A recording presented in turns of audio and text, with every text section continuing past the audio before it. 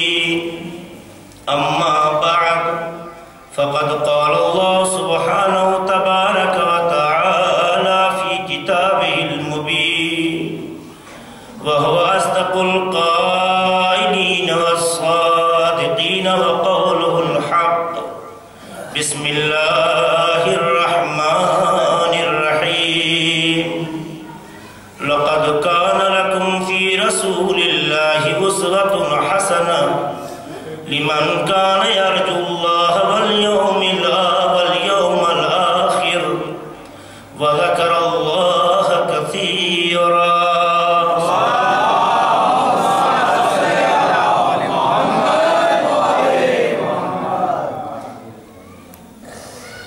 اسوہ حسنہ جو کہ سیرت معصوم ہے اور قرآن کے نس کے مطابق یہ وہ ذات ہیں، یہ وہ افراد ہیں جن کا ہر عمل اسوہ حسنہ ہے۔ لہذا جو بھی یہ عمل انجام دیتے ہیں، خدا کی نگاہ میں اللہ کے مد نظر وہ عمل محبوب ہے اور قابل تحسین ہے۔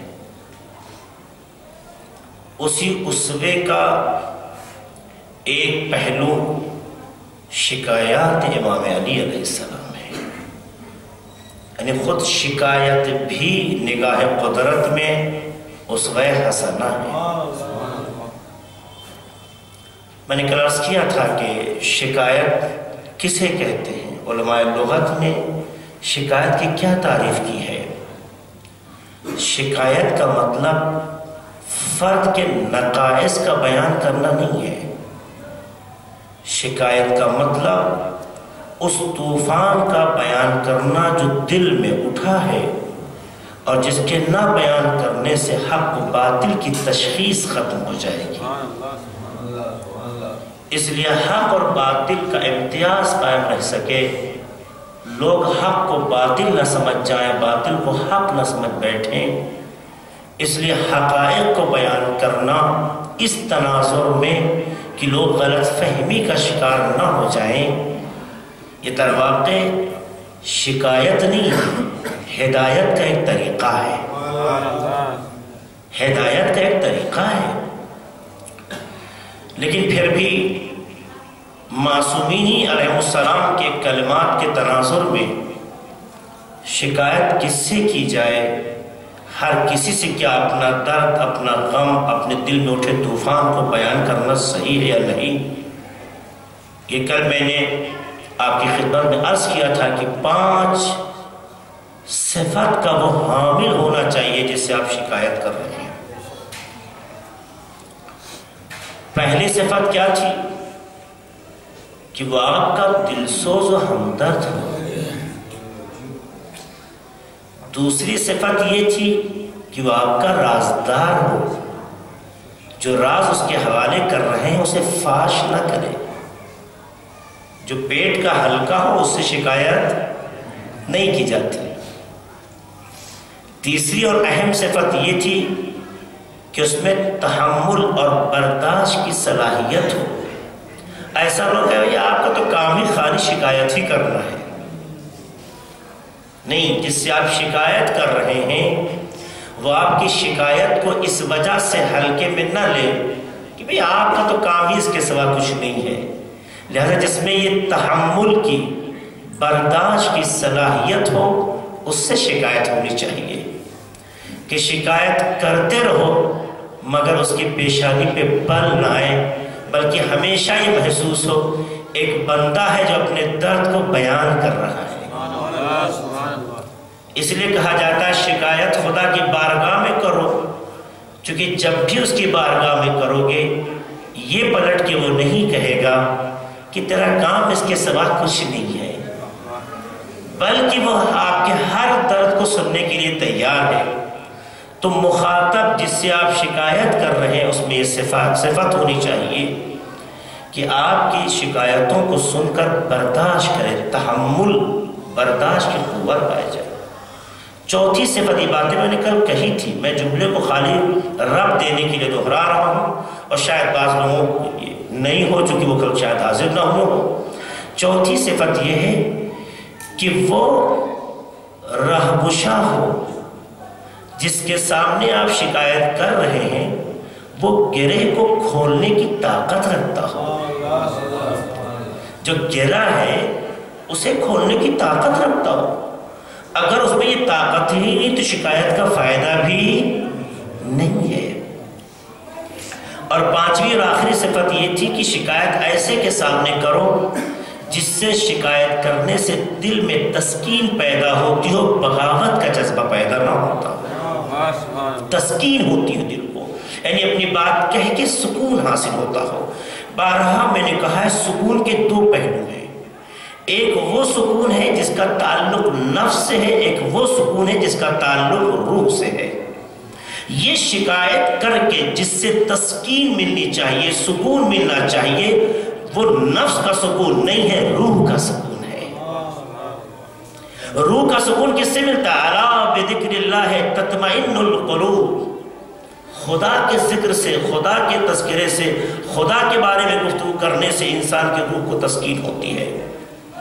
تو خدا کے تذکرے سے اگر تسکین ہوتی ہے تو ایسا انسان ہونا چاہیے جو ذاکر اللہ ہو کہ جب اس کے سامنے بات کہی جائے تو نفس کی بھڑاس نہ نکل رہی ہو، روح کی تسکین کے اسباب فراہم ہو رہے ہیں۔ یہ شکایت کے عمومی اصول ہے لہٰذا اگر ہم اپنی زندگی میں بھی کہیں شکایت کریں، کبھی کسی سے بات کہیں، تو پہلے یہ دیکھ لیں جس سے بات ہم کہہ رہے ہیں، اس میں یہ ظرفیت ہے بھی یا نہیں؟ جہاں ظرف ہوتا ہے، وہاں ضروری باتوں کا تذکرہ ہوتا ہے۔ جہاں ظرف کم ظرفی میں گرفتار ہوتا ہے، وہاں انسان اپنے درد دل کو بیان نہیں کرتا۔ اسی لیے امام نے کہا کہ بہترین بارگاہ جہاں شکایت ہو سکتی ہے، وہ خدا کی بارگاہ ہے۔ اہل ہونا چاہیے۔ چونکہ خدا دل سوز بھی ہے، ہمدرد بھی ہے۔ خدا راز کو فاش کرنے والا نہیں ہے۔ رازدار رازدار بھی ہے۔ خدا رازدار بھی ہے رازدار بھی ہے۔ خدا ہی وہ ہے جس کی بارگاہ میں جتنی بار آپ کہتے جائیں، کبھی اس کی سے یہ شکوہ نہیں ہو سکتا ہے کہ تیرا کام اس کے سوا کچھ نہیں ہے۔ کہتے رہو۔ اب تو معبود کے رشتے کا تقاضا یہی ہے کہ جب بھی بندے کو تکلیف ہو، اپنے معبود سے ہی بیان کرے۔ وہ سننے کے لیے تیار ہے۔ وہی ہے جو ہر گرہ کو کھولنے کے لیے تیار ہے۔ حلال مشکلات وہ ہے وہی ہے کہ جس سے اپنی بات کہہ دینے کے بعد دل کو سکون حاصل ہوتا ہے، اس لیے دعا کو وسیلہ بنایا گیا۔ کہو، تمہیں سکون چاہیے تو اپنے درد دل کو بیان کرو، مگر اپنا درد ہر کسی سے نہ کہو، جو درد شناس ہے اس سے بیان کرو۔ اس لیے امام نے ایک جملہ کہا ہے نجم العبا میں ہی ہے، جو اہل ہو، اس سے شکایت کرو۔ اور پھر انہی کا ایک جملہ جس کو میں نے کل آپ کے سامنے پیش کیا تھا، امام کرتے فرماتے ہیں کہ من شکال حاجت الى مؤمن، جو مومن کے پاس اپنی بات رکھے، کہے فَكَأَنَّهُ شَكَاهَا إِلَى اللَّهِ گویا یہ شکایت مومن سے نہیں کہہ رہا ہے، خدا سے کہہ رہا ہے۔ یہ شکایت مومن سے نہیں بیان کر رہا ہے، خدا سے بیان کر رہا ہے۔ اس جملے کو کہہ کے امام نے بتایا کہ مومن اللہ کا مظہر ہے۔ مومن اللہ کی جانب سے منتخب بندہ ہے۔ اس سے بھی کہنا ایسے ہی ہے جیسے خدا سے کہنا ہے۔ لہذا اپنی بات مومن میں شیئر کرو۔ کسی موقع پہ بات میں نے کہی تھی، مجھے یاد آ رہا کب کہا یہ یاد نہیں ہے۔ کہ اللہ تین موقعوں پر، تین جگہوں پر وہ فرشتے جو آپ کے کندھوں پہ رکھے ہیں وہ اپنے بندے سے ہٹا دیتا ہے۔ تین موقع پر۔ جس کا کام یہ ہے کہ آپ کی ہر ایکٹیویٹیز کو خالی لکھتا رہے۔ نہ کم، نہ زیادہ۔ جو جیسے آپ کر رہے ہیں، اسے کنٹرول کریں۔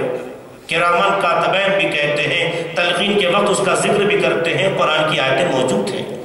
باوجود اس کے کہ ہر عضو کو خدا نے ایک کیمرے کی صلاحیت دی ہے یا ایک ریکارڈر کی صلاحیت دی ہے جو قیامت میں پیش کرے گا، دکھائے گا، ساری چیزیں ہیں۔ اس کے باوجود بھی تو فرشتے بھی رکھے۔ آزا بھی گواہ، فرشتے بھی گواہ، خدا بھی گواہ۔ ہم انسان وہ ہے کہ جس کے لیے خدا نے تین مرحلے شہادت کے رکھے۔ لہٰذا اگر کہیں کوئی کمی کا احتمال پایا جائے، تو دوسرے گواہ اس کی تائید کرتے ہوئے نظر آئیں گے۔ پر گواہ ایسوں کو بنایا ہے جس میں نفس شامل نہیں ہے، اس کا ارادہ شامل ہے۔ اس لیے نہ کوئی کمی ہو سکتی ہے، نہ زیادتی ہو سکتی ہے۔ آزا بھی ابھی آپ کے نفس کے مطابق اسیر ہے لیکن قیامت میں آزا آپ کے اسیر نہیں ہوں گے، اس کے ارادے کے ماتحت ہوں گے۔ لہذا ہمارا ہی بدن ہو کر، اب ہماری مرضی سے نہیں چلے گا، جس کی امانت ہے اس کی مرضی کے مطابق چلے گا۔ تو اللہ نے تین مواقع پر ان فرشتوں کو بھی انسان سے دور کیا ہے۔ پہلا مرحلہ بیت الخلا جب انسان واشروم جاتا ہے، تو نظام قدرت یہ ہے کہ ان فرشتوں کو خدا الگ کر دیتا ہے۔ دوسرا وہ وقت ہے جب ایک شوہر اور بیوی اپنے رشتوں کے آخری منزل میں ہوتے ہیں۔ خدا اس موقع پہ بھی فرشتوں کو ہٹا دیتا ہے۔ دیکھیے کتنا اہم اہتمام ہے۔ اور تیسرا پوائنٹ سب سے اہم ہے کہ جب دو مومن آپس میں راز کی بات کرتے ہیں تو فرشتوں کو ہٹا دیتا ہے۔ جب دو مومن آپس میں کسی راز پر، کسی خاص ایشو پہ گفتگو کرتے ہیں، جو راز کہلائے، جس میں آبرو ہے، غیرت ہے، عفت ہے، حرمت ہے، اس موقع میں فرشتوں کو ہٹا دیتا ہے۔ عزیزوں جب خدا تو مومن کے راز پر اپنے معصوم فرشتوں کو ہٹا دیتا ہے، تو پھر ہم جاسوسی کرتے نظر نہ آئیں۔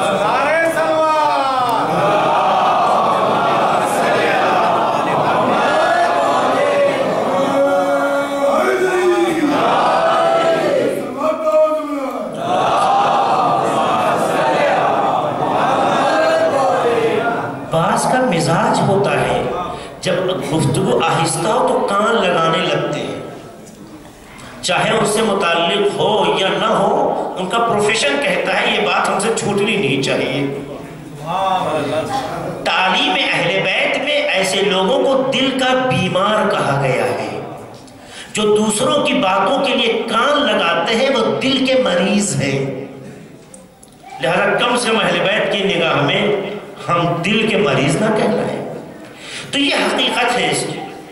تو مولا کائنات نے اگر شکایت کی ہے، اگر کسی موضوع کو بیان کیا ہے، تو حق و باطل کی تشخیص کے لیے، حقائق کو لوگوں سامنے رکھنے کے لیے، چونکہ اہل بیت کی نگاہ میں فرد مورد بحث نہیں ہوتا ہے۔ اہل بیت کی نگاہ میں فلاں کا بیٹا ہے، فلاں خاندان سے فلاں علاقے کا ہے۔ یہ ہم سوچتے ہیں اہل بیت علیہ السلام کی نگاہ میں یہ اہم نہیں ہے کہ کس کا بیٹا ہے، یہ اہم نہیں ہے کہ کس خاندان سے ہے، یہ اہم نہیں ہے کہ اس کا تعلق کہاں سے ہے، اہم یہ ہے کہ اس کی فکر کیا کہتی ہے۔ اسی لیے ان کی تعلیم میں ہے، جرم سے نفرت کرو، مجرم سے نہیں۔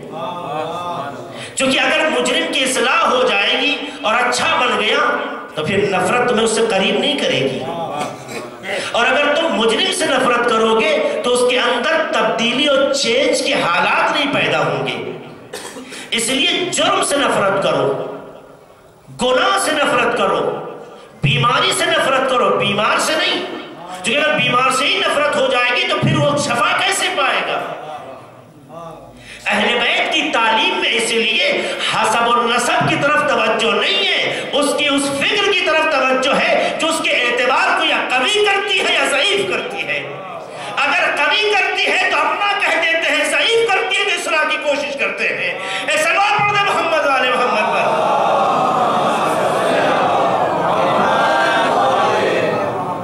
اس لیے آپ دیکھیے، اہل بیت نے یہ بات واضح لفظوں میں کہتی کہ یاد رکھنا، اگر ہماری زبان سے کوئی بات نکل رہی ہے، تو میری بات سے مراد فرد نہیں ہے، اس کا عمل، اس کی فکر ہے۔ تو جب بات نکل رہی ہے، مراد فرد نہیں ہے کیونکہ انسان فرد سے نفرت کرتا ہے۔ لیکن جو خاصان خدا ہوتے ہیں، وہ فکر کو معیار بناتے ہیں۔ فکر کے معیار میں اپناتے ہیں، فکر کے معیار میں اصلاح کرتے ہیں۔ چونکہ اہل بیت کا دور کرنے کا جذبہ نہیں پایا جاتا ہے، مگر مرحلہ وہاں آ جائے جہاں دل ہی کسی کا سیاہ ہو جائے، پتھر ہو جائے۔ جب تک اصلاح کی گنجائش پائی جاتی ہے، یہ اپنے سے دور نہیں کرتے۔ اور جب دیکھتے ہیں کہ دل پتھر ہو گیا، تو ظاہر ہے کہ اب اس کا وہ مرحلہ ہے کہ لکم دینکم ولیتی وہ اپنے راستے، ہم اپنے راستے۔ لیکن یہ آخری منزل ہے اہل بیت کی۔ اس لیے اہل بیت نے کبھی کسی کو غیر کی نگاہ سے نہیں دیکھا۔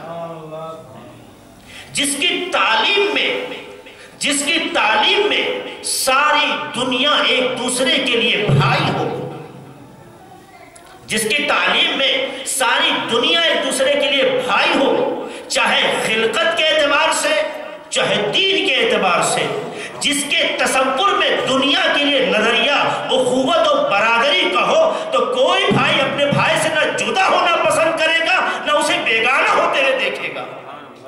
تو جس علی علیہ السلام نے نہج بلاغہ میں یہ واضح لفظوں میں کہا کہ تمام دنیا کے لوگ تمہارے بھائی، اما اخل لکا فی الدین، اما اخل لکا فی الخلق، یا دینی اعتبار سے تمہارے بھائی ہیں، یا مخلوق ہونے کے اعتبار سے تمہارے بھائی ہیں۔ تو جہاں رشتہ، اخوت کا ہو برادری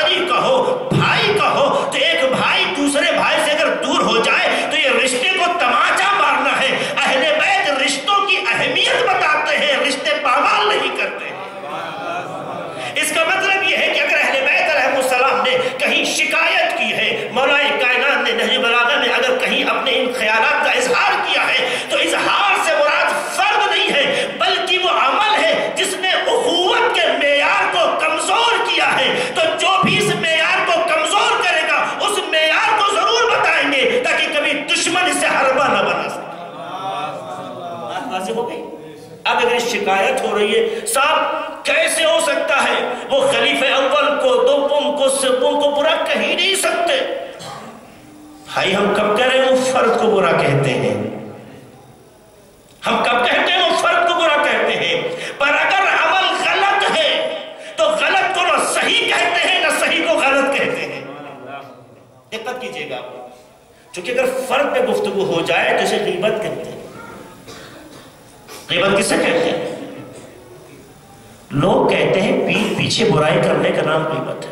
جی نہیں، غیبت کی تعریف یہ نہیں یہ لوگوں نے تعریف اپنے خیال سے بنانی ہے۔ غیبت سے مراد یہ نہیں کہ پیٹ پیچھے کہیں۔ چونکہ عام طور سے لوگ غیبتیں پیٹ پیچھے کرتے ہیں، اس لیے کہہ دیا ہوگا کہ غیبت سے مراد پیٹ پیچھے کہنا کسی کو برا بلا غیبت ہر اس بات کو کہتے ہیں جس کے ذکر سے سامنے والے کو تکلیف ہو۔ ہر اس بات کو کہتے ہیں غیبت۔ یہ میں پورے اعتماد سے کہہ رہا ہوں۔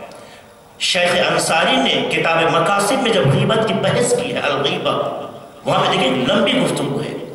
خلاصہ یہ کیا ہے، ہر وہ بات جو سامنے والے میں پائی جاتی اس بات کو اس طرح سے نقل کرنا کہ اسے تکلیف ہو۔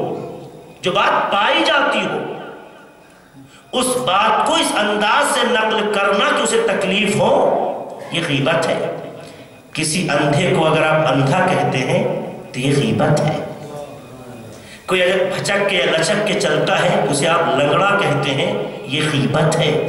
چونکہ لگڑا تعبیر کسی کو اچھی نہیں لگتی۔ اندھا کمنٹ کسی کو اچھا نہیں لگتا۔ ورنہ جو چیز نہیں پائی جاتی ہے، اگر وہ بات کہہ دے تو یہ بہتان و تہمت ہے۔ جو چیز کسی میں نہیں پائی جاتی ہے، اگر وہ بات کہہ دے تو یہ بہتان ہے تہمت ہے، یہ اور خطرناک ہے۔ لیکن غیبت اسی کہتے ہیں کہ جو اس سامنے والے پائی جاتی ہے اور اس انداز سے کہنا کہ اس کے لیے کمنٹ ہو، یہ غیبت ہے۔ تو اہل بیت علیہ السلام اسی لیے فرد پہ بحث نہیں کرتے، فکر پہ بحث کرتے ہیں۔ فکر اچھی ہو سکتی ہے، بری ہو سکتی ہے فکر اگر بری کو برا نہ بتایا جائے تو ممکن ہے کہ کسی کو یہ شبہ ہو جائے کہ یہ فکر صحیح ہوگی، ہمیں سے فالو کرنا چاہیے۔ ہم دنیا میں فرد کو دیکھتے ہیں، تب اس کی بات کو مانتے ہیں۔ اہل بیت بات کا وزن بتاتے ہیں، فرد کو پیچھے رکھنا چاہتے ہیں۔ اسی لیے بارہا کہا ہے، یہ دیکھو کیا کہہ رہا ہے، یہ مت دیکھو کون کہہ رہا ہے۔ یاد ہے آپ کو؟ یاد ہے بارہا اس پہ میں نے ایک جملہ کہا بھی تھا۔ اس موقع پر جب بھی کبھی میں نے اس کو ذکر کیا تھا کہ عقائد الامامیہ ہماری اہم کتابوں میں سے ایک کتاب ہے جس شیخ مظفر نے عربی زبان میں لکھی تھی، عقائد الامامیہ۔ آج بھی ہمارے مدرسوں میں کورس کا حصہ ہے۔ وہاں کہتے ہیں کہ امام کا جملہ بالکل صحیح ہے کہ فنظر الى ما قال، بلا تنظر الى من قال۔ یہ مت دیکھو کہ کون کہہ رہا ہے۔ یہ دیکھو کہ کیا کہہ رہا ہے۔ یہ بہت اہم ہے۔ چونکہ جب فکر میں آپ بحث کریں گے تو غیبت نہیں کہلاتی۔ فرق پہ بحث کریں گے تو غیبت ہے۔ دقت کیجیے گا، میں بہت اہم پوائنٹ کی طرف اشارہ کرنا چاہتا ہوں۔ لیکن یہ فرماتے ہیں شیخ مظفر کہ یہ جملہ امام کا قانون ہے کلیہ ہے۔ لیکن ہم شیعہ جو معصومین علیہ السلام کی عصمت کے قائل ہیں، جو معصومین علیہ السلام کی عصمت کے قائل ہیں ان کے لیے یہ قانون ذرا دوسرے انداز سے، وہ قانون ٹوٹا نہیں ہے، وہ قانون باقی ہے۔ لیکن یہ قانون عصمت کے عقیدے کے بعد، وہی بحث جہاں العصمہ کی بحث کرتے ہیں امامت میں، وہی یہ بات کہتے ہیں۔ ہم شیعوں کا نظریہ یہ ہے کہ جب معتقد ہو جائیں کسی کی عصمت کے، کسی کے معصوم ہونے کے، تو پھر نظریہ یہ نہیں رہے گا۔ ایک قدم اور بڑھ جائیں گے، بلکہ یہ دیکھیں گے کون کہہ رہا ہے۔ اہم یہ نہیں ہے کہ کیا کہہ رہا ہے۔ کیوں اس لیے کہ معصوم نہ غلط بول سکتا ہے، نہ جھوٹ بول سکتا ہے۔ جو بولے گا وہ مشیت الہی ہے۔ لہذا یہ دیکھنا ہے کون کہہ رہا ہے، یہ نہیں دیکھنا ہے کیا کہہ رہا ہے۔ اس لیے ہارون مکی نے ایک لمحہ بھی تعمل نہیں کیا کہ امام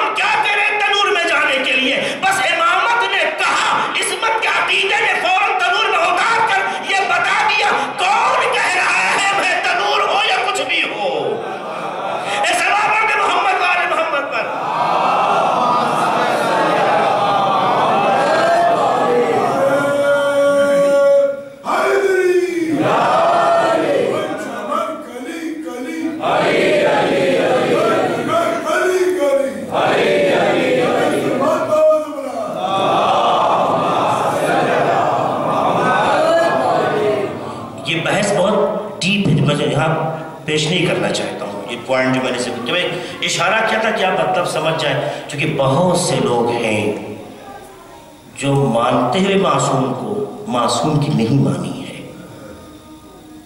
لیکن جب عصمت کے آپ قائل ہو جاتے ہیں تو عصمت کا مطلب یہ ہوتا ہے، کوئی بات یہ اپنی طرف سے نہیں کہتے۔ عصمت کہتے ہی اس طاقت کو ہے جو انسان کو خیال میں بھی گناہ اور خیانت سے روکے۔ تو جب ہمیں پتہ ہے یہ جھوٹ نہیں بول سکتے، پتہ یہ غلط نہیں کہہ سکتے، وہ کہیں گے جو عین مشیت الہی ہے۔ تب کیا کہہ دے اہم نہیں ہے؟ جو کہہ دے وہی دین ہے، جو کہہ دے وہی زندگی ہے۔ تو اس وقت یہ دیکھنا ہے کہ کون کہہ رہا ہے۔ یہ ہم اشیوں کے لیے جملہ ہے۔ کہ معصوم کی ماننے کے بعد یہ گفتگو کی گنجائش ختم ہوتی ہے کہ مولا یہ کیسے یہ کیسے کہنے کا مطلب یہ کہ بھی عصمت کا معیار آپ کے ذہنوں میں کامل نہیں ہوا ہے۔ عصمت کا معیار کامل نہیں ہوا، لیکن کلی قانون ہے ہر کسی کے لیے۔ یہ دیکھو کہ کیا کہہ رہا ہے، یہ مت دیکھو کہ کون کہہ رہا ہے۔ یہ جملے میں اس لیے سنا رہا ہوں کہ جس معصوم کی تعلیم یہ ہو کہ فکر سے گفتگو ہو، فرد سے گفتگو نہ ہو، وہ معصوم فرد سے گفتگو کر کے غیبت میں گرفتار نہیں ہو سکتا۔ لہذا نحل بلاغہ میں اگر کبھی بھی امام نے گفتگو کی ہے، تو گفتگو اس فکر کی ہے جس نے اسلام کی بنیادوں کو مفکر تو ہوتا ہے، کوئی وارث تو ہوتا ہے، کوئی اہل تو ہوتا ہے۔ بات وہاں تک پہنچ جاتی ہے تو فکر اسے پہنچا رہی ہے۔ اہل بیت تو خالی فکر کو ٹارگٹ کرتے ہیں۔ فکر اچھی ہے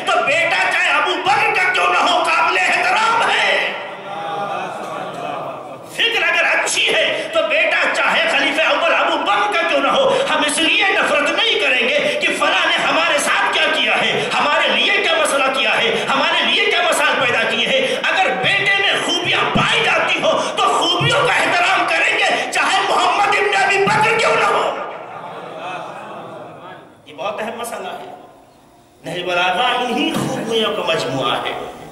اس لیے میں چاہتا ہوں معصوم کے کلام معصوم کی زبانی سناؤ۔ ایک سلوات پڑھیں محمد علیہ محمد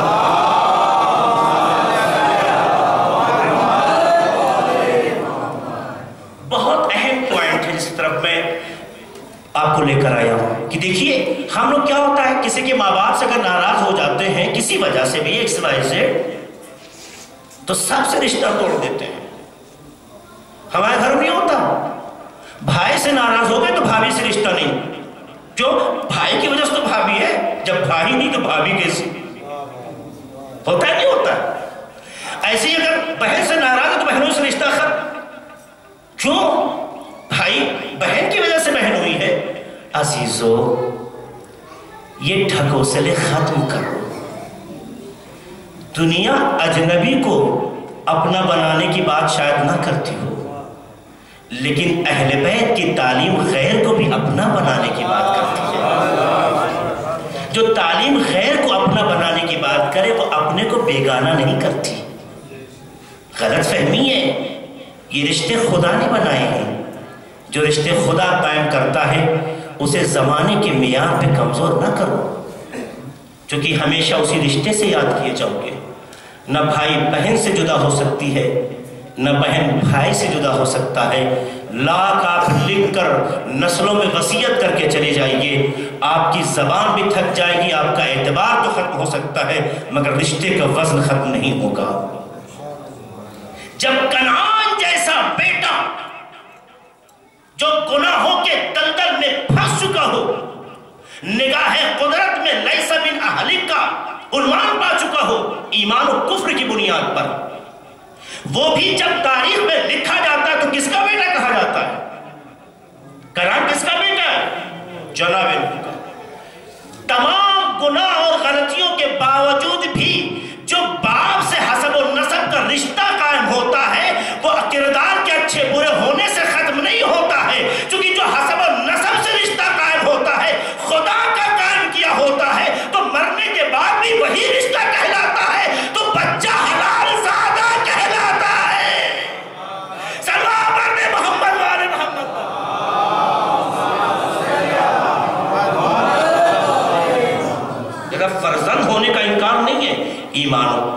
کفر میں رشتہ نہیں ہوتا، اس کا وہ اظہار ہے۔ ایسا من حلق سے مراد، کافر مومن سے رشتہ نہیں رکھ سکتا۔ ایک سو اسی ڈگری کے فاصلہ ہے۔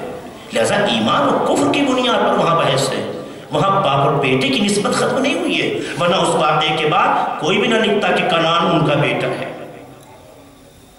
تو عزیز و رشتے، ختم نہیں کیے جا سکتے۔ تو اہل بیت نے فکر پہ بحث کی ہے۔ یہ نہیں دیکھا کس کا بیٹا ہے۔ کیسے فکر کے اہل کا فرزند ہے؟ کہاں رہتا ہے؟ کیا ہے؟ نہیں فکر اگر اچھی ہے تو اہل بیت بھی احترام کیا جائز ہے کہ وہی یہ بات کہہ سکتا ہے کہ یہ دیکھو کہ کیا کہہ رہا ہے، یہ مت دیکھو کون کہہ رہا ہے جو خود پہلے اس پر عامل ہو، عمل کرتا۔ ہو اس لیے کہ جو خود عمل نہ کرے اور دوسروں سے عمل کرنے کی بات کہے یہ زبان کا لقلقہ تو ہو سکتا ہے، ہدایت نہیں ہو سکتی۔ ہے ورنہ قرآن کی آیت فوراً پکڑ یا الذین آمنوا لما تقولون ما لا تعملون؟ ما لا تفعلون؟ اے صاحبان ایمان، وہ بات کیوں کہتے ہو؟ جس کو کرتے نہیں، کبر مقتا عند اللہ ان تقولوا ما لا تفعلون۔ کہ اللہ کے نزدیک سب سے بڑا گناہ یہ ہے کہ تم وہ بات کہو جس کو کرتے نہ ہو۔ تو اہل بیت وہ بات کہی نہیں سکتے جس کو کرتے نہ ہو اگر کہا ہے تو خود عمل بھی کرتے ہیں۔ اور اس کا سب سے بڑا ثبوت یہی ہے، یہ نہیں دیکھا کہ محمد کس کے فرزند ہیں۔ یہ دیکھا کہ محمد کی فکر میں صلاحیتیں کیا ہیں۔ صلاحیتیں کیا ہیں؟ صلاحیتیں دیکھنے کے باوجود بات صلاح دیکھنے کے بعد ہی امام نے ان کو گورنر بنایا، مصر کا گورنر بنایا۔ معمولی بات نہیں ہے مصر کا گورنر بنایا امام نے مصر بہت بڑی جگہ ہے تو آپ دیکھیے امام نے کس انداز سے ان کے بارے میں بات کہی ہے یہ میں پہلے وہ سنانا چاہتا ہوں کہ جب محمد ابن ابی بکر شہید ہو جاتے ہیں تو امام عبداللہ ابن عباس کو خط لکھتے ہیں دیکھیے امام کیا کہتے ہیں اور اس کے بعد شکوہ اور اس کا امام کس انداز سے ازالہ کرتے ہیں؟ یہ بہت اہم پوائنٹ ہے۔ امام لکھتے ہیں، اما بعد، فَإِنَّ الْمِصْرَ قَدْ فُتِحَتْ۔ مصر اغیار کے ہاتھوں فتح کر لیا گیا۔ یہ ابن عباس کو امام خط لکھتے ہیں۔ مصر کو اغیار نے اپنے ہاتھوں میں لے لیا۔ وہ محمد ابن ابی بکر رحمہ اللہ قد استشہد۔ اور محمد ابن بکر جن پر خدا کی رحمت ہو، شہید کیے گئے۔ دیکھ رہے ہیں انداز گفتگو۔ بیان بھی ہے تو یہ متوجہ ہیں کہ کیا کہہ رہے ہیں۔ رحمہ اللہ خدا ان پر رحمت کرے اس شہید کر دیے گئے۔ تو محمد ابن ابی بکر جن پر خدا کی رحمت و شہید رحمہ اللہ، یہ کلمہ آسان نہیں ہے، یہ پیغمبر نے بعض صاحب کے لیے استعمال کیا ہے۔ امام علی بھی وارث پیغمبر ہیں۔ وہ بھی جانتے ہیں کہ کس جملے کا کہاں استعمال کیا جائے۔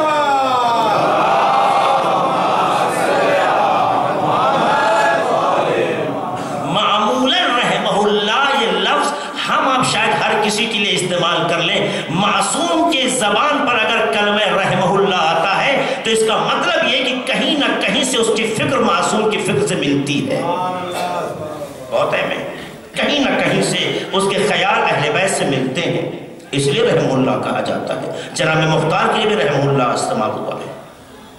فکر ملتی ہے، تب رحمہ اللہ کا لفظ استعمال ہوتا ہے۔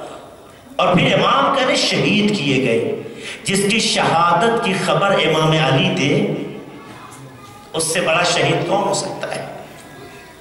راہ خدا میں کام آ جانا شہادت ضرور ہے، لیکن کلمہ معصوم پہ یہ زبان معصوم پر کس کی زبان پر؟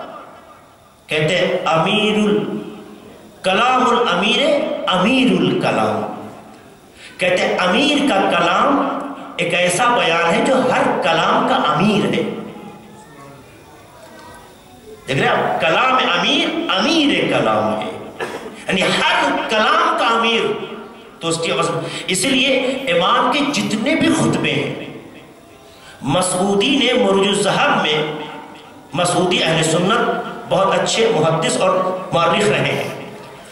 معرخ زیادہ رہے ہیں۔ مسعودی ہزار سال سے پہلے گزر چکے ہیں۔ یعنی سید رضی سے بھی پہلے۔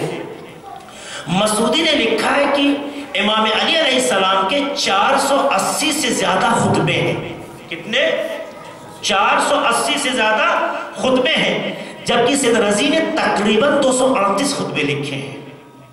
یعنی امام کے اور بھی خطبے ہیں۔ اور ان کا کہنا یہ ہے کہ امام علی نے کسی خطبے کے لیے پہلے سے اہتمام نہیں کیا ہے۔ بالبداہا جب گفتگو کا موقع آیا ہے، بیان جاری ہو گیا ہے۔ بیان جاری ہو گیا ہے۔ یہ بیان اسی کا جاری ہو سکتا ہے سلطان سے کہ واقعاً جس کی زبان لسان اللہ ہو۔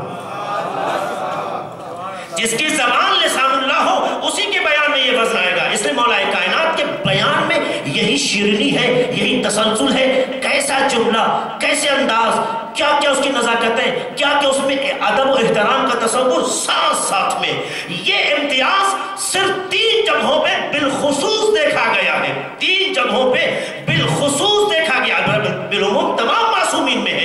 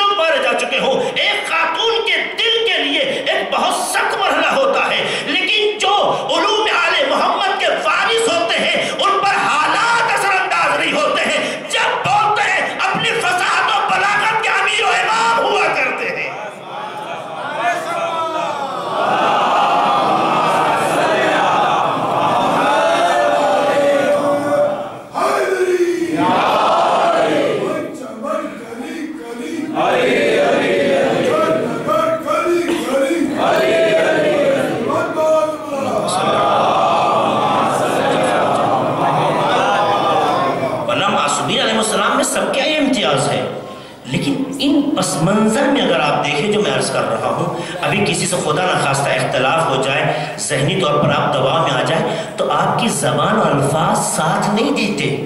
بولنا کچھ چاہتے ہیں، لفظ کچھ آپ کی زبان سے نکلتا ہے۔ چونکہ دباؤ جب آتا ہے، تو زبان اور ذہن کا لگتا ہے رشتہ کمزور ہو جاتا ہے۔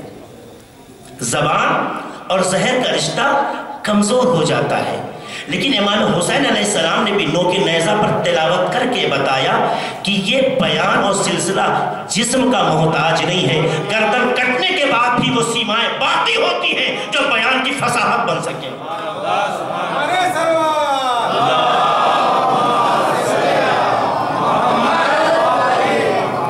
تو ظاہر ہے کہ جو ان کے راستے پہ چلتے ہیں، انہوں نے بھی دکھا دیا کہ ہم ایسے حالات میں بھی ورنہ وہ خاتون جو کبھی گھر سے باہر نہ آئی ہو، عدالت میں آ کر خطبہ دیتی ہیں، آیات کا استعمال، استدلال، جملے، یہ سب بتاتے ہیں۔ یہ پہلے سے کوئی تیاری نہیں تھی جو یاد کر کے آ کے کہہ دیا ہو۔ نہیں، کہلوایا گیا۔ تو دیکھا کہ جو چشمے، سر چشمے علوم آل محمد ہوتے ہیں، جو اللہ کی حکمتوں کے وارث ہوتے ہیں، ان کے بیان میں وہ وزن ہوتا ہے۔ کہ دنیا ان حالات میں بولنے کی طاقت نہیں رکھتی، مگر جب بولتے ہیں تو اپنے وزن کا اعتبار رکھتے ہیں۔ آپ دیکھیے، امام بھی فرما رہے ہیں اس انداز سے گفتگو۔ فَعِنْدَ اللَّهِ نَحْتَسِبُ۔ ہم اللہ سے ان کے اجر کی دعا کرتے ہیں۔ ہم اللہ سے ان کے اجر کی دعا کرتے ہیں۔ جس کے حق میں امام علی دعا کریں، اس کا مرتبہ کیا ہوگا؟ سوچیے آپ۔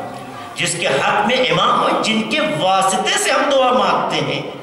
جب واسطہ خود دعا کرنے لگے،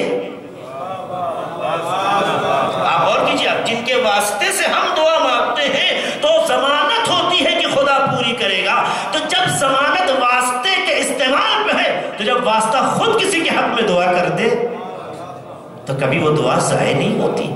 آپ دیکھیے، بیٹا کس کا ہے؟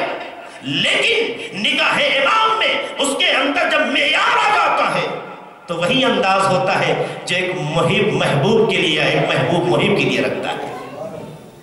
امام کے فرماتے ہیں کہ ولدن ناصحہ، یہ بہت اہم جملہ ہے۔ کون شہید کیا گیا؟ ایک ایسا فرزن ایک ایسا انسان جو کہ ناصح تھا، نصیحت کرنے والا۔ وہ عاملن قادحا، اور ایک ایسا ایکٹیو رکن جو اپنے عمل کو پہچانتا تھا اور ہمیشہ سرگرم عمل رہتا تھا۔ یہ صفتیں بھی گنوا رہے ہیں۔ یہ شہید تو ہو گیا، مگر دیکھو ہم اس کے لیے دعا اگر کر رہے ہیں۔ رحم اللہ بھی کہتے ہیں، خدا سے آجر کی دعا کرتے ہیں، شہادت کی سند بھی دے رہے ہیں۔ تو کس کو؟ ایسے کو جو ولدن ناسحا ناسح فرزد نصیحت کرنے والا وعاملا قادحا اور ایسا کارکن چونکہ ایکٹیویٹیز کے اعتبار سے ہمیشہ سرگرم عمل رکھنے والا۔ وَسَيْفًا قَاطِعًا ایسا انسان کی جس کی ہاتھ کی تلوار تلوار برندہ ہو، کاٹ دینے والی ہو سیفن قاطعا یعنی تلوار کا جو ماہر ہو جو تلوار کا ماہر ہو یعنی امام سے جب انسان وابستہ ہو جاتا ہے، تو ناسے بھی ہو جاتا ہے، وظیفہ شناس بھی ہو جاتا ہے، تلوار چلانے کی مہارت بھی آ جاتی ہے۔ پھر کہتے ہیں برکنن دافعا اور دفاع کا ستون۔ جہاں شجاعت کا بھی اعلان کرتے ہیں، وہیں فکر کا بھی اعلان کرتے ہیں، عمل کا بھی اعلان کرتے ہیں۔ امام بتاتے ہیں، ہم سے وابستہ ہونے والا انسان سے شجاع نہیں ہوتا ہے۔ فکر بھی طاقتور ہوتی ہے، خیال بھی قوی ہوتے ہیں۔ اور دین کے تعین اس کے جذبات منزل دفاع میں ایسے ہوتے ہیں جیسے پہاڑ کسی کے لیے سامنے کھڑا ہو جائے اور ہر آنے والے طوفان کو روک لے۔ تو دین کا ستون نہیں ہے۔ اور کیا ہے؟ وقت کن تو حشست الناس علی لحاقہی اب یہاں سے امام کی شکایت شروع ہو جاتی ہے۔ امام کی شکایت شروع ہو جاتی ہے اسے کیا فرماتے ہیں؟ وقت کن تو حشست الناس علی لحاقہی وَأَمَرَهُمْ بِغِيَاسِهِ قَبْلَ الْوَقْعَ۔ امام کہتے ہیں، اس حادثے کے رونما ہونے سے پہلے میں نے لوگوں کو وعدار کیا، آمادہ کیا، جاؤ ان کی مدد کرو۔ امام کرے، اب شکایت امام کی۔ نہیں کہا، کس کو کس کو؟ لوگوں کو۔ لوگوں کو میں نے آمادہ کیا۔ فرد فرد کی بات کہتے تو بحث شروع ہو جاتی کہ یہ مناسب ہے کہنا یا نہیں۔ امام نے کلی بات کہی، لوگوں کو میں نے آمادہ کیا۔ جب بات یوں کہا جائے، لوگوں کو تو غیبت میں شمار نہیں ہوتی ہے۔ ان کی فکر کی عکاسی کرتی ہے۔ میں نے لوگوں کو ان کی مدد کے لیے واقع سے پہلے آمادہ کیا۔ واقع سے پہلے اس کا مطلب یہ ہے، حادثہ ہونے کے بعد دنیا باخبر ہوتی ہے۔ اہل بیت حادثے سے پہلے حادثے کا علم رکھتے ہیں۔ دیکھا، قبل الوقع قبل اس کے کی حادثہ رونما ہو۔ میں نے لوگوں کو آمادہ کیا۔ لوگوں کو کیسے؟ اور کیسے آمادہ کیا؟ اس کی بھی منظر کشی ہے۔ وَدَعَوْتُهُمْ سِرًّا وَجِهْرًا۔ انہیں ہم نے کھل کر کھلن کھلا، شخصی طور پہ بھی۔ علانیہ کہتے ہیں کھلن کھلا جہرن اور سرن کہتے ہیں یعنی شخصی ملاقات کر کے۔ تو سر کہتے ہیں مخفی۔ تو دعوت جو ہے مخفی نہیں یعنی وہ ملاقات کر کے بھی کہا، اعلان کر کے بھی کہا۔ دونوں طریقے سے۔ اور صرف ایک بار نہیں وعودن وبدعا اور میں نے بار بار یہ بات کہی۔ میں نے کہا، امام علی نے کہا وقت کا امام اور حاکم کہہ رہا ہے، جاؤ مدد کے لیے، وہ تنہا ہے۔ لیکن کیا ہوا؟ کہتے ہیں کہ فَمِنْهُمُ الْآتِ كَارِحًا کہتے ہیں، ان میں سے ایک گروہ بعد ناخواستہ آگے آیا۔ ایک جملہ میں نے شروع میں کہا تھا کہ امام کہتے ہیں، یہ مت دیکھو کون کہہ رہا ہے، بلکہ یہ دیکھو کیا کہہ رہا ہے۔ لیکن شیخ مظفر نے ایک اہم بات کھوٹ کی۔ جب معصوم کا عقیدہ ہو جائے تو یہ مت دیکھو کہ کیا کہہ رہا ہے۔ یہ دیکھو کون کہہ رہا ہے۔ انہی حالات سے پتا چلتا ہے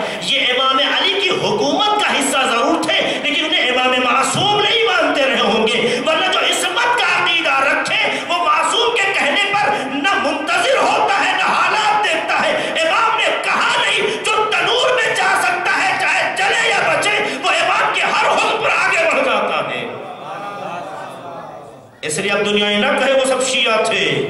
پتہ چلا وہ امام کی حکومت کا حصہ تھے پر شیعہ۔ یہ واضح ہو جانا چاہیے آپ کے لیے۔ یہ بحث عراق کے حالات کے پیش نظر۔ عرب ممالک کے حواشی اور جو جانبی علاقے ہیں بارڈر کے علاقے ہیں۔ امام کس انداز سے عکاسی کر رہے ہیں؟ پھر فرماتے ہیں کہ وَمِنْهُمُ الْمُعْتَلُّ كَاذِبًا۔ کچھ تو ان میں سے ایسے ہیں جو ہیلے کرنے لگے۔ یہ مکر و ہیلا امام یہ شکوا کر رہے ہیں۔ کہتے ہیں، امام، ہیلا یہ مومن کی شان نہیں ہے۔ ہیلا کر رہے ہیں۔ یعنی جو ہیلا کرتا ہے، امام اس سے شاکی ہے۔ جو بہانہ کرے، ہیلا نہیں بہانہ۔ جو بہانہ کرے، جو مکاری کرے، جو لوگوں کو خالی ہے ذہن کو ڈائیورٹ کرنے کی کوشش کر رہے باوجود اس کے کہ وہ جا سکتا ہو، امام کی نگاہ میں اس سے شکایت ہے۔ یہ شکایتیں امام کی زمانے کے اعتبار سے صرف نہیں ہے بلکہ ایک فکر پر شکایت ہے۔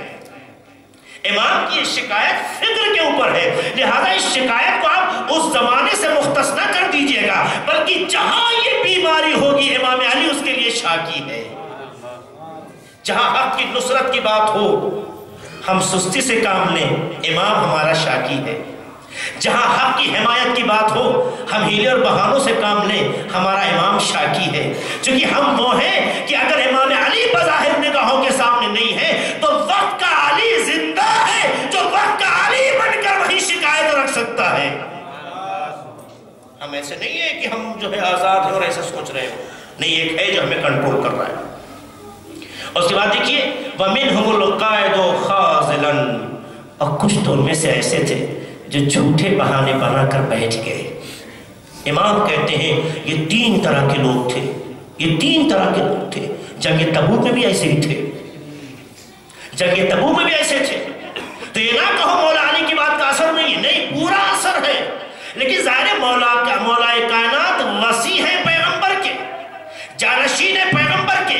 زمانے نے وہاں بھی مکاری دکھائی ہے، یہاں بھی عیاری دکھائی ہے۔ مگر فکر رسول وہاں بھی تھی فکر بارث رسول یہاں بھی کامیاب ہے تاکہ ہم کو دنیا یہ نہ کہہ سکے ہم سے کہا نہیں گیا تھا۔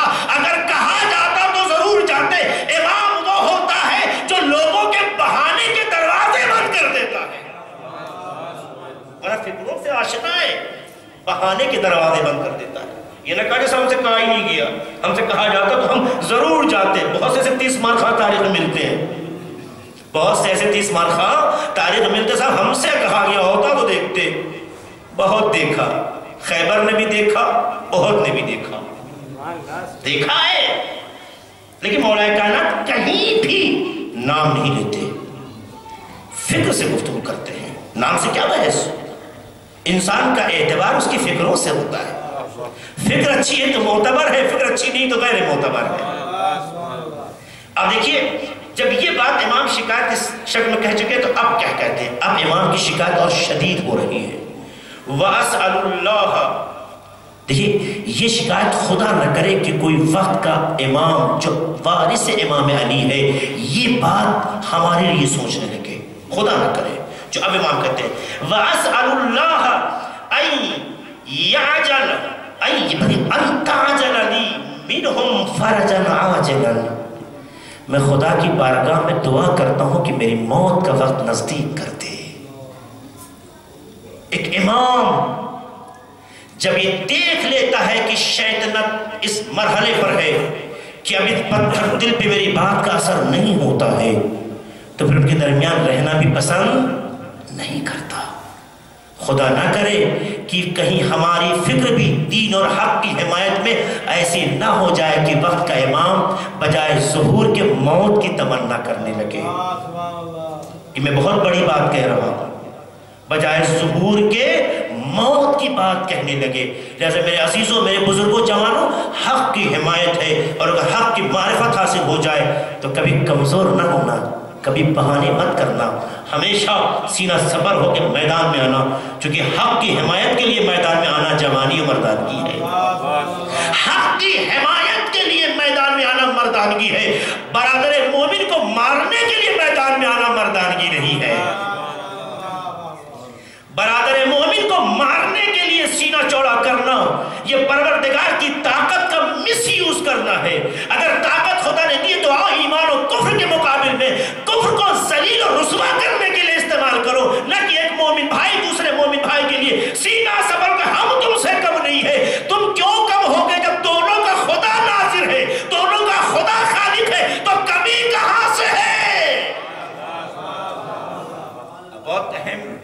یہ بات ہے، اس کی طرف توجہ رکھیں، ہم اکثر ہم ایک دوسرے سے ٹکرا جاتے ہیں اور اکثر اس طرح کی باتیں سننے میں آتی ہیں جو ہمیں انتظار نہیں ہے۔ آپ دیکھیے، آپ ہم سب، ہم بھی شامل ہیں، آپ سے جدا نہیں ہیں۔ ہم بھی شامل ہیں۔ ایسا نہیں کہ ہم بالکل پاک، ہمیں گناہ نہیں۔ خدا سے دعا یہی کرتے ہیں، ہم سب میں سے کسی میں کوئی کمی نہ رہ جائے۔ ہم یہ نہ کریں کہ ہمارے عمل سے یہ ثابت ہو کہ دنیا کا معیار ہمارے لیے آئیڈیل ہے، اہل بیت خالی نام کے لیے آئیڈیل ہے۔ یہ نہ ہو۔ اب آپ دیکھیے، امام دعا کرتے ہیں، خدایا، ہمیں، ہماری دعا یہ ہے کہ خدا مجھے جلدی ان سے چھٹکارا دے دے۔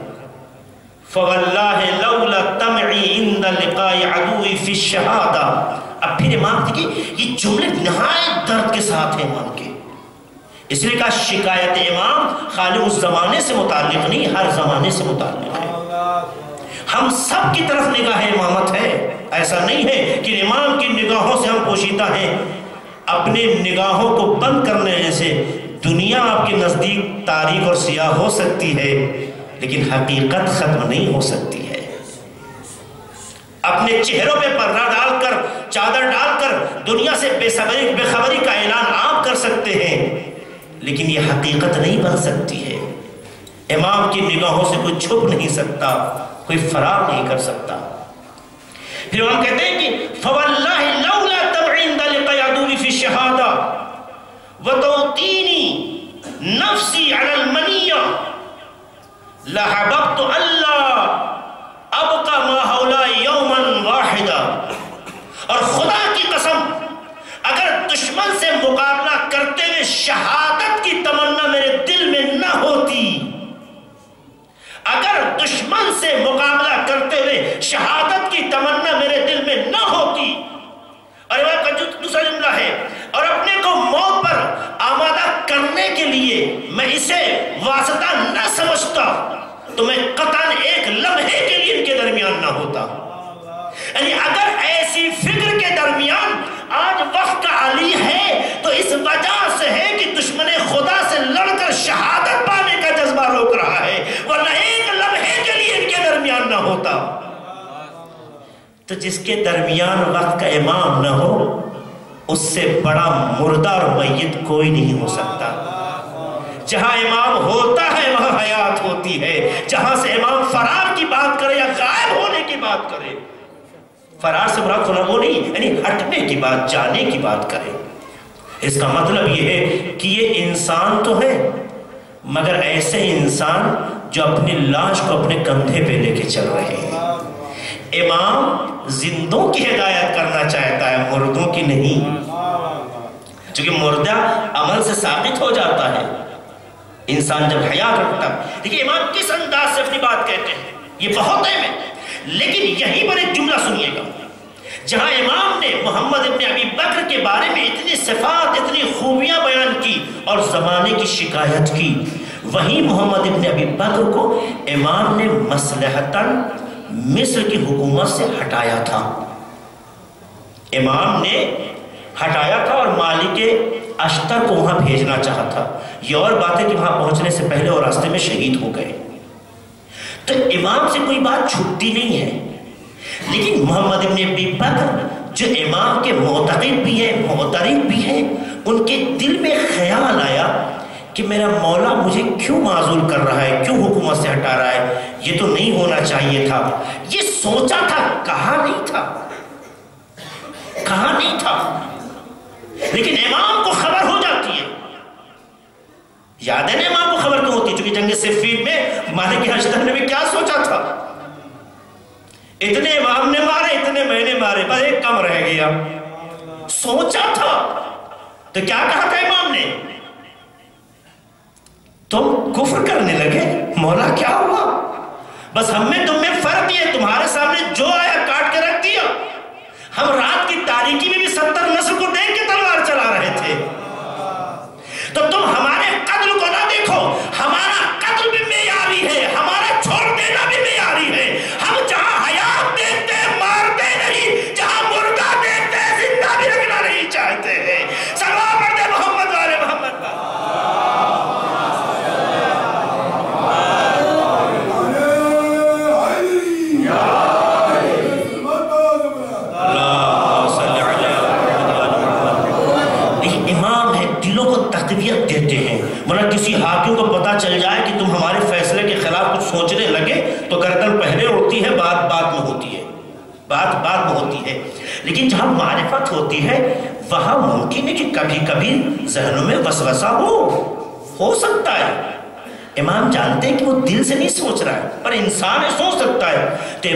چونکہ وہیں پر جو جملہ کہا ہے میں اسی لیے بات کہنا چاہتا ہوں کہ امام نے یہ جملہ پہلے کہا ہے جو اب سنا رہا ہوں، اور وہ جملہ بعد میں کہا ہے جو میں سنا چکا ہوں۔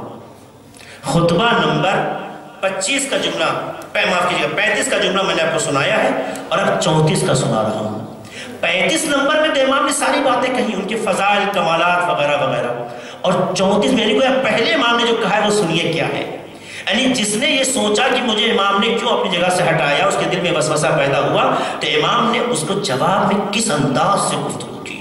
یہ بھی ایک سلیقہ ہے اور سوائے امام علی علیہ السلام کی کسی میں یہ جذبہ نہیں دیکھا۔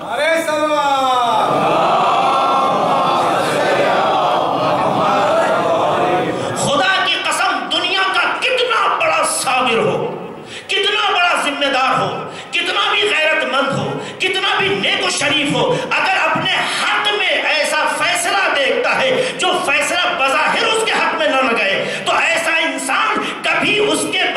فیصلہ کرنے والے کو اچھا نہیں کہتا ہے۔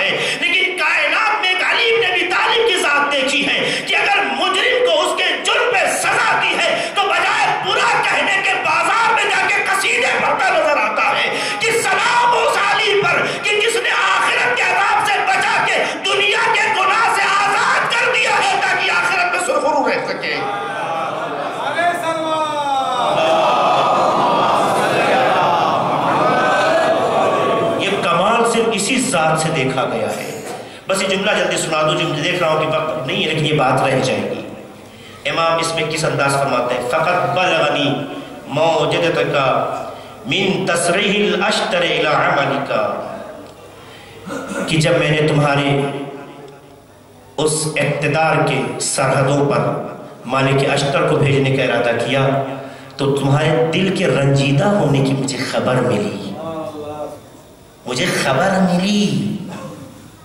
اس کا مطلب کچھ ہیں واسطے سلسلے جو ان کے سفیر ہیں، ان تک خبریں لاتے ہیں پر شاید دنیا دیکھتی نہیں ہے۔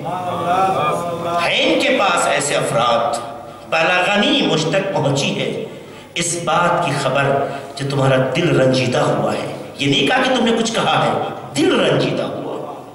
یعنی سوچا ہے۔ آپ نے وَإِنِّي لَمْ عَفَلْ ذَلِكَ اسْتِبْطَاءً لَكَ فِي الْجُهُدْ۔ یاد رکھنا میں نے یہ فیصلہ اس لیے نہیں لیا ہے کہ تم کمزور ہو۔ میں نے فیصلہ اس لیے نہیں لیا ہے کہ تم اپنے کام میں کمزور ہو۔ دیکھیں کس انداز سے امام بات کر رہے ہیں۔ تمہیں ہٹایا ضرور ہے، لیکن ہٹانے کی وجہ تمہاری کمزوری نہیں ہے۔ دیکھیے استبطان ذالک فی الجہد، کہ تم اپنے کام میں کہیں سے کمزور رہے ہو۔ ولا ازدیادن فی الجد، اور نہ اس وجہ سے کہ تم کہیں سے ڈھیلے پڑے ہو نہیں۔ تمہارا اپنا کام پرفیکٹ کر رہے تھے۔ تم میں کمی نہیں تھی۔ تم کامل تھے اپنے کام میں، چونکہ ہمارا انتخاب غلط نہیں ہوتا ہے۔ جہاں تم کام کر رہے ہو، وہاں ظرف اتنا مر چکا ہے کہ تمہاری بات ان کے دلوں تک پہنچ نہیں رہی ہے۔ تو کمی تمہاری نہیں ہے۔ اگر تمہیں ہٹایا تو تمہاری کمیوں کی وجہ سے نہیں۔ دنیا میں تو لوگ کمیاں دیکھ کے ہٹاتے ہیں نا۔ امام کہتے ہیں کمیوں کی وجہ سے نہیں۔ وَلَوْ نَزَعْتُ مَا تَحْتَ يَدِكَ مِن سُلْطَانِكَ، اور اگر ہم نے تمہاری اس حکومت کو تم سے لے کر کسی اور کے حوالے کیا ہے تو مَا هُوَ أَيْسَرُ عَلَيْكَ مُعُونَةً تو صرف اس لیے کہ تمہیں میں ایسی جگہ کا والی اور گورنر بنا سکوں جہاں کام کرنا تمہارے لیے آسان ہو۔ یعنی ہٹانے میں بھی درد چھپا ہے، محبت چھپی ہے۔ چونکہ امام انتخاب غلط کا نہیں کرتا۔ تو جب غلط کا نہیں کرتا، تو اس کا مطلب اپنے معیار کا کمزور نہیں ہے۔ ہاں ہم تمہیں ایسی جگہ بھیج دیں گے جہاں کام کرنا سخت نہ ہو، آسان ہو تمہارے لیے۔ یعنی تمہاری بات کا وزن ہو۔ اور اس کے بعد کہتے ہیں، وَأَعْجَبُ إِلَيْكَ وِلَایَةً اور ایسی جگہ بھیجوں گا جہاں تمہیں جانا پسند بھی آئے۔ نہ صرف بھیج دوں گا، بھیجوں گا، مگر ایسی جگہ بھیجوں گا جہاں جانا تمہیں پسند بھی آئے۔ تو تمہاری پسند کا بھی خیال رکھوں گا، تمہاری باتوں کے اثر کا بھی خیال رکھوں گا۔ یعنی ایسی جگہ بھیجوں گا جہاں تمہارا اعتبار قوی ہو، کمزور نہ ہو۔ جو ہٹانے کے بعد بھی اپنے گورنر کی قوت و استحکام کی بات کرے، اسے علی بن ابی طالب کہتے ہیں۔ یہ ہے سلسلہ۔ تو جو ان سے جڑتا ہے، اسے وہ قوی بناتے ہیں، کمزور نہیں کرتے۔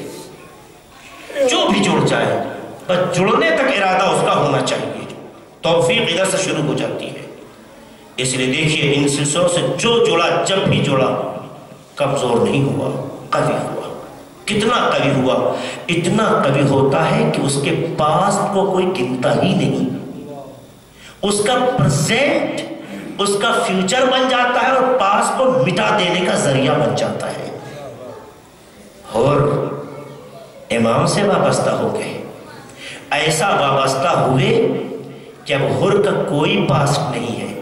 یہی پرزنٹ پاس کی بھی ضمانت بنے گا اور ان کا فیوچر بنا کر علیہ السلام بنا دے گا۔ اور کوئی امام نے رحمہ اللہ کہا ہے، اللہ ان پر رحم کرے۔ اور کیا کہنا، تمہاری ماں نے کیسا نام رکھا تھا تمہارا کہ تم دنیا میں بھی آزاد رہے، آخرت میں بھی آزاد رہو گے۔ یہ امام بتاتے ہیں کہ جو ہم سے جڑتا ہے، وہ دنیا اور آخرت کی فلاح پاتا ہے، کمزور نہیں ہوتا ہے۔ اے کاش، وہ دل بھی متوجہ ہو جاتے جو امام کے تئی پتھر بن چکے تھے۔ اور وہ مظالم ٹھائے جس کا حق اہل بیت کرنا تھا۔ یقیناً نہیں تھا، کوئی سوچ نہیں سکتا۔ کیسے کیسے سن کیسے کیسے ہنگامے، کس انداز سے اسیر کیا گیا، میں کیا کہوں، کیسے کہوں؟ خالی منظر کشی کرنا چاہتا ہوں تاکہ واقعات تو آپ کے سنے ہوئے ہیں، تاکہ آپ کے ذہن تک وہ بات پہنچ سکے جو اہل حرم کے لیے نہایت سخت و دشوار تھی۔ عزیزو، یہ اہل حرم جب اسیر کر کے لے جائے جا رہے تھے تو آپ نے بارہا سنا ہے۔ ایسے اونٹوں پہ لے جائے جا رہے تھے جس پہ کجاوا نہیں تھا۔ کجاوا جب ہوتا ہے تو بیٹھنے بھی بھی آرام ہوتا ہے۔ آدمی کا بیلنس بنا ہوتا ہے۔ لیکن جب انہیں اسیر کر کے لے جایا جا رہا ہے تو کجاوا نہیں ہے۔ اور جب کجاوا بھی نہ ہو تو ایسی صورتحال میں کہ جہاں ایک رسم میں بارہ گلے ہوں ان سب کو ایک اونٹ پہ نہیں بٹھایا جا سکتا۔ اونٹ پہ بارہ لوگ نہیں بٹھائے جا سکتے، جبکہ کجاوا بھی نہ ہو۔ اس کا مطلب یہ ہے کہ جن اونٹوں سے لے جایا جا رہا تھا، ان کو متعدد اونٹوں پہ بٹھایا گیا تھا، مگر تناب، رسی کو اس انداز سے لگایا گیا تھا کہ ایک ایک رسن میں بارہ بارہ وغیرہ تھے، پر بیٹھنے والے مختلف اونٹوں پہ تھے۔ کنڈیشن ذہن میں رکھیے۔ ازاداروں جہاں ہاتھ بدھے ہوں۔ بس میں کہہ چکا اپنی بات، جہاں ہاتھ بدھے ہوں، کجاوا بھی سپورٹ کے طور پہ نہ ہو۔ اور جب یہ اونٹ چل رہے ہوں اور لوگوں کی گردنیں ایک رسی میں ہو بارہ گلے کا رسی میں ہو اور جب یہ راستہ جو کہ کبھی اونچائی کا بھی ہے، کبھی نیچائی کا بھی ہے، جس کی سطح برابر نہیں ہے، اونچ نیچ کا راستہ ہے تو عزاداروں جب یہ اونٹ چلتے رہے ہوں گے، بیلنس کے بگڑتے ہوئے کیا حال ہوتا رہا ہوگا؟ آپ سوچ سکتے ہیں۔